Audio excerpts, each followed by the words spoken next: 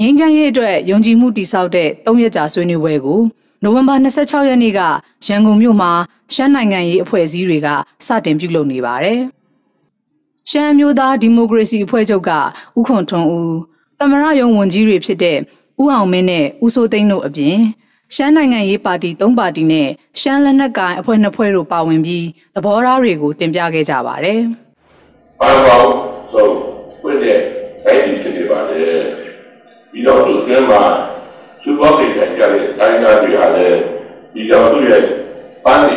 ဖြစ်နေပါလေ။ဒီပန်းတွေကိုဖြည့်ဆည်းပြီးတဲ့ပြီးတော့သူ့ရဲ့အလားကိုဖြည့်ဆည်းတဲ့အောင်လုပ်တဲ့လူတွေကကျွန်တော်တက်ခနဲ့ကြာကြောင်းရှိပါဘူးထို့သူအင်အားကြီးတဲ့လူမျိုးကအင်အားကြီးတဲ့လူမျိုးကိုဖိတဲ့ဖိမဲ့တာ လူမျိုးတစ်မျိုးရဲ့နော်ဒါလူပြေကိုမပေးတာလူမျိုးတစ်မျိုးကချင်းတော့တာဖိတဲ့ရဆက်တဲ့အာခြေမျိုးမှာလည်းအခုတိုက်ပြနေတွေ့နေတွေ့နေရတော့လေဒါကြောင့်အဲလိုလူမျိုးဒါမှလည်းမခံတော့တော့ပါဘူးဆိုတာလေဒါကြည့်ကြပြောလို့ပြောလို့ပါလေ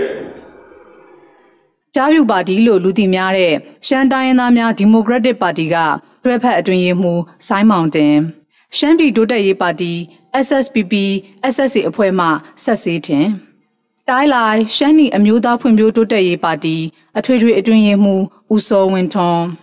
ရှမ်းပြည်ပြန်လည်ထူထောင်ရေးကောင်စီခေါင်းဆောင်စက်ပောင်ခေးနဲ့အမျိုးသားဒီမိုကရေစီမဟာမိတ်တပ်မတော်တို့ကသဘောထားတွေကိုတင်ပြခဲ့ကြပါတယ်။ဒီလိုနေဖြင့် နိုင်ငံရေးအဆွေးနွေးပွဲများကိုထိရောက်စွာတောက်တဲ့ပေါ်နိုင်ရန်များစုလက်ခံနိုင်ရေးအခြေခံမှုများတတ်မှတ်ရန်အရေးကြီးအရေးကြီးဆုံးဖြစ်တည်မှုယူဆပါတယ်။နိုင်ငံရေးဆွေးနွေးပွဲများကိုပုံစံချခြင်း political dialogue process design နဲ့ဆွေးနွေးရမည့်ချက်များကိုရွေးချယ်တတ်မှတ်ခြင်း identifying and structuring issues ဆိုင်ရာကိစ္စများကိုများသဘောဖြင့်သဘောတူညီချက်ရယူပြီးလိုအပ်သည့် framework ရေးဆွဲခြင်း ချိန်ကာလသတ်မှတ်ခြင်း timeline calendar and schedule များကိုပြုလုပ်ရမည်ဖြစ်ပါတယ်။မိမိနေဖြင့်ကိစ္စများကိုတိုင်းနာအဖွဲ့အစည်းကြီးတွေနဲ့အခြေအနေဆွေးနွေးပြီးမှသာလျှင်သတ်မှတ်သွားရန်ပြင်ဆင်ထားပါတယ်။လိုအပ်တဲ့ကြောင်းကျင်မှုအကူအညီများနဲ့ရယူသွားရန်လိုအပ်တာကလိုအပ်သလိုမိမိအနေဖြင့်စီစဉ်ဆောင်ရွက်သွားရန်စဉ်းစားထားပြီးဖြစ်ပါတယ်။သို့တော်လည်းမိမိနေဖြင့်ဒီကျဆုံးမှုစာထားသည့်ကိစ္စမှာဆွေးနွေးဘက်အဖွဲ့အစည်းအသီးသီးနေဖြင့် ခြေကံများကိုတူညီသည့်အသေးပဲဖွင့်ဆိုဖွင့်ဆိုမှုများပြုလုပ်ရန်ပထမအဆင့်နေဖြင့်လောက်ဆောင်ရမည်ကိုလေးနဲ့ယုံကြည်ပါတယ်။ဥမာတမိုင်းတစ်လျှောက်လုံးတွင်နားလည်မှုလွဲခဲ့သော Federalism ကဲ့သို့သောကိစ္စများကို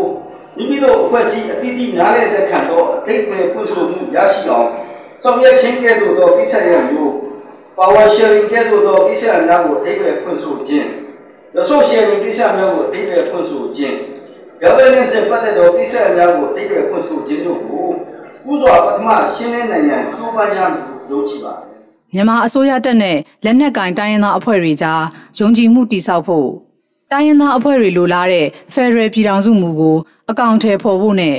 လူနည်းစုကိုလူများစုကဖိနှိပ်မှုတွေမရှိစေဖို့စတဲ့နိုင်ငံရေးသဘောထားတွေကိုဆွေးနွေးခဲ့ကြပြီးနိုဝင်ဘာ28ရက်နေ့မှာဆွေးနွေးပွဲအဆုံးသတ်မှာဖြစ်ပါတယ်။